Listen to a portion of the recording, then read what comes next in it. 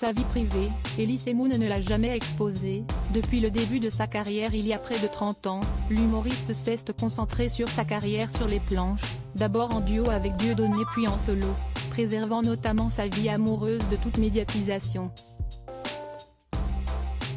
Désormais devenu réalisateur des deux derniers volets de la franchise du Cobu, l'homme de 59 ans a décidé d'ouvrir une petite part de son jardin secret. Pas toujours simple. Du moins si l'on croit ces rares confidences faites auprès de nos confrères du magazine Voici ce vendredi. Alors qu'il évoquait sa future pièce de théâtre, il en est en effet venu à parler de ses souvenirs de la fin de son mariage avec Annie Janesson, la mère de son fils Antoine, dont il a divorcé en 2002. À l'époque de mon divorce, je devais avoir à peu près 37 ans, je me suis moi aussi comporté en égoïste. J'ai tout fait voler en éclats, comme dans la pièce. Je ne pouvais pas faire autrement, il fallait que j'aille au bout. Je crois qu'on a tous été monstrueux à un moment de notre vie, explique-t-il en effet avec honnêteté. Pas question pour lui de nier ses actes ou ses gestes, même si l'humoriste, aujourd'hui célibataire sait parfaitement être romantique. Trop, parfois selon lui.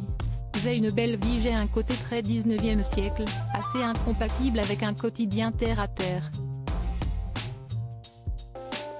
Peut-être que mon idéalisme est un peu étouffant. Avoue-t-il sans problème. D'ailleurs, il explique même dans l'interview que son premier roman, Compter jusqu'à toi, est dédié à une femme, à un amour perdu. S'il ne précise pas s'il parle de son ex-femme ou d'une autre romance, il raconte tout de même que la personne en question s'est reconnue.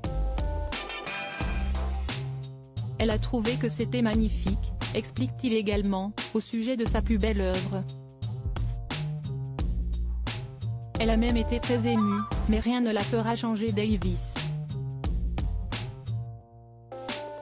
Notre histoire est terminée.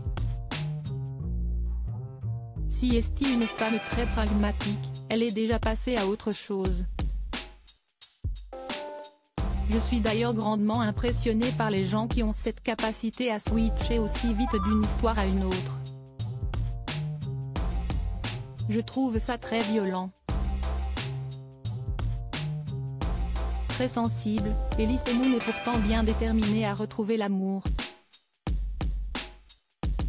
D'ailleurs, il sait ce qu'il veut, décrivant sa future dulcinée comme une femme fine et subtile, il cherche également de véritables qualités morales.